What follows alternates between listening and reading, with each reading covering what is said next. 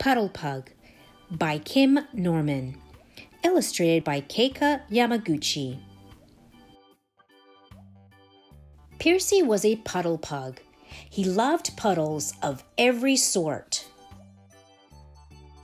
swamp puddles, stomp puddles, ready for a romp puddles, foggy puddles, froggy puddles, deeper than a doggy puddles. Percy loved puddles so much, he put them on a map so he could remember where to find them. All of Percy's puddles were pleasing, but he had yet to find the perfect puddle. Some were nearly perfect, like this one, and this one, and this one, but something was always missing. One day, Percy heard splashing on the other side of the fence. He peered through, and there it was the perfect puddle. It was big, it was brown, and it was oh so friendly. Percy couldn't resist. He squeezed under the fence and. Splash! Ooh, cool brown water. Ah, squishy, swishy mud. It was puddle paradise. Percy loved his new puddle. But his puddle did not love him back. Percy couldn't get that perfect puddle out of his head. On his daily walk, he couldn't enjoy the puddles he did find.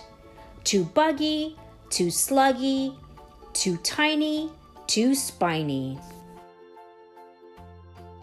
too smelly, too yelly, too endless, too friendless. Only one puddle was just right, and it was behind that fence. Maybe I could blend in, Percy thought.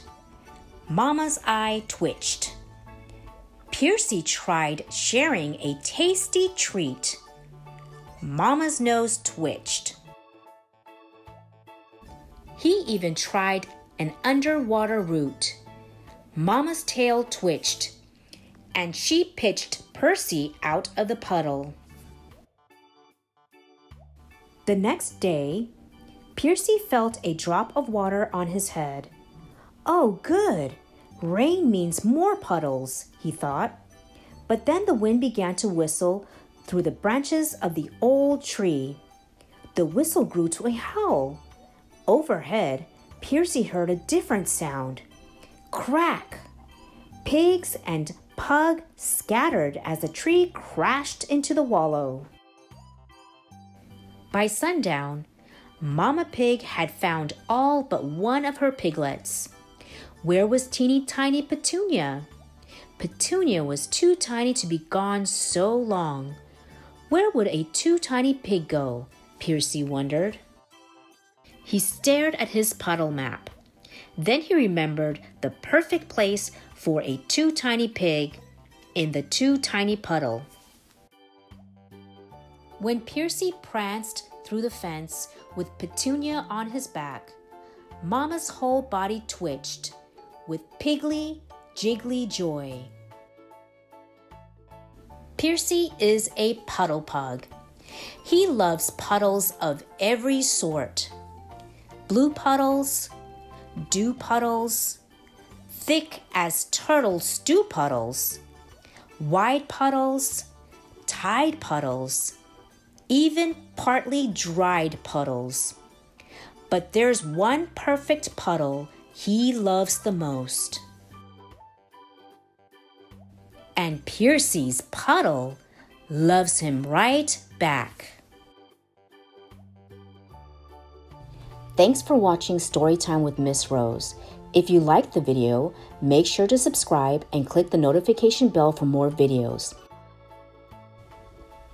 If you enjoyed the book, there's a link to purchase in the description below. Thank you.